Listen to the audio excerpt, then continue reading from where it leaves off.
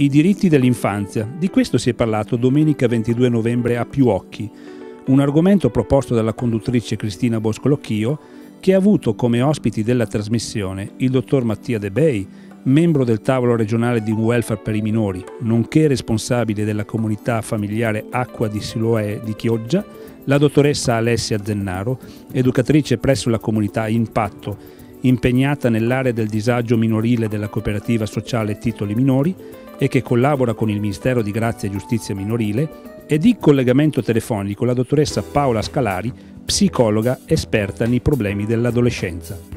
Tutti i grandi sono stati bambini, una volta, ma pochi se ne ricordano, tratto dal libro del piccolo principe. Una puntata interamente dedicata per parlare dei diritti dell'infanzia ed un'occasione per conoscere da vicino che cos'è la dichiarazione dei diritti, chi sono gli attori coinvolti, come sono cambiate le dinamiche delle famiglie relative ai bisogni dei bambini e ad adolescenti, oltre ad avere consigli utili per un migliore rapporto tra genitori e figli. Alessia, come possiamo spiegare ai bambini di oggi e ai ragazzi eh, che hanno dei diritti?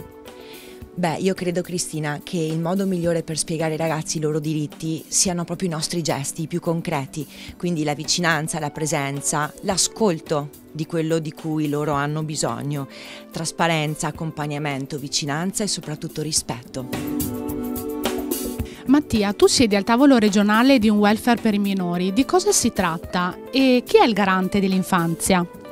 Il tavolo welfare per i minori è un luogo di confronto, di raccordo tra soggetti della Regione Veneto impegnati a vario titolo con i bambini e le bambine del nostro territorio. Un modo per portare avanti il tema dei diritti anche durante il corso dell'anno e oltre il 20 novembre, che è la giornata mondiale, internazionale dei diritti dell'infanzia. Il garante è una figura istituzionale che dovrebbe facilitare l'attuazione dei principi della Convenzione del 1989.